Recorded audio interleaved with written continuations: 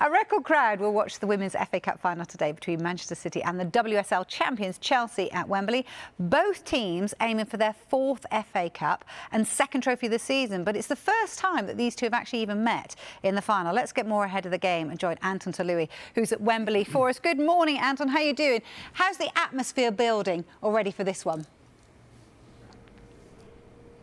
Yeah, fans are already starting to arrive, Vicky. I said, 55,000 expected here at Wembley today, a new club record for a game in England. And it's going to be a fascinating game between two sides from near the top of the table. Chelsea, of course, the champions, but of course, Manchester City beat them in the League Cup final a couple of months ago. And one player from the Manchester City squad joins me right now, Karen Bardsley. Lovely to see you. Thank you for joining us today on match day, especially.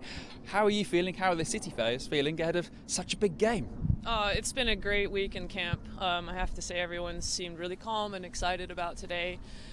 And, you know, it's been a great run of games for us, and we're just hoping to carry that momentum forward into the game today. Talk about momentum 13 games winning streak. That's that's pretty impressive. But you're coming into playing the champions. So, how optimistic is the side going into this? I think we're always really confident in our abilities, and as you say, we have that momentum on our side.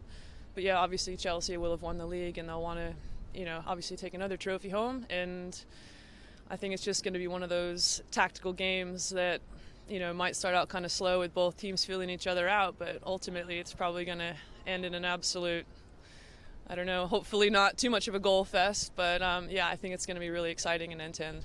As a goalkeeper, you don't want a goal fest. but um, talk, to, talk to me about obviously the League Cup final two months ago. I think some people were surprised by how well and how easily sort of uh, City dispatched Chelsea, especially in that second half. Mm. How important is that coming into this game? Yeah, you're absolutely right. I think there have been moments where we've struggled to put like a full 90 minute performance together, but I mean, that shows exactly what we're capable of doing and hopefully we can you know learn from the first half and apply what we did in the second half to try and put a full 90 minute performance together. But you know I've got a lot of respect for Chelsea. We all do. Um, they're a, fabulously talented side. Um, you know so we have to earn the right. Um, but ultimately I think we will just kind of be unpicking each other especially in the midfield and just seeing kind of where the spaces expose themselves and how we can you know um, use that to our advantage. So it's going to be really exciting.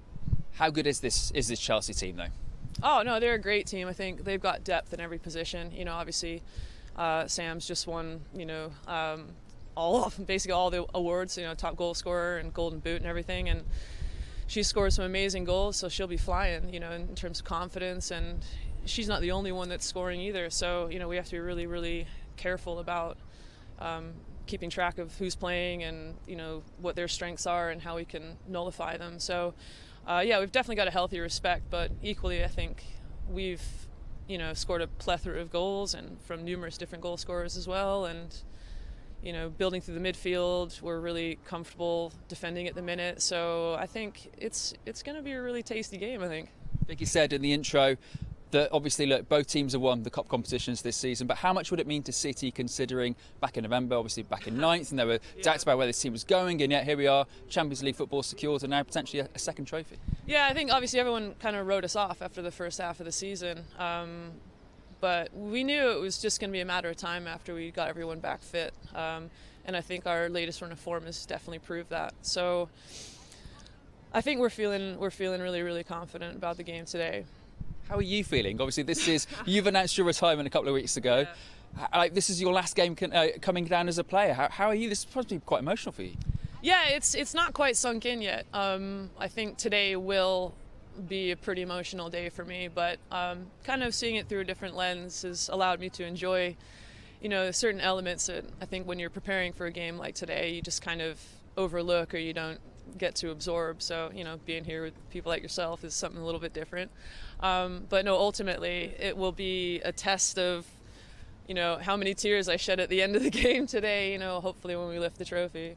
Well, nothing to worry about. There's only 55,000 people here to watch that as well. So look, it should be an absolutely fascinating occasion, not just because we'll be watching Karen, but also because it's going to be a great game between two top teams in the country. Can Chelsea go on to win their fifth domestic t- uh, title in the last two years, or can Manchester City beat them for the second time in a cup final this season? Thank you very much, Anton.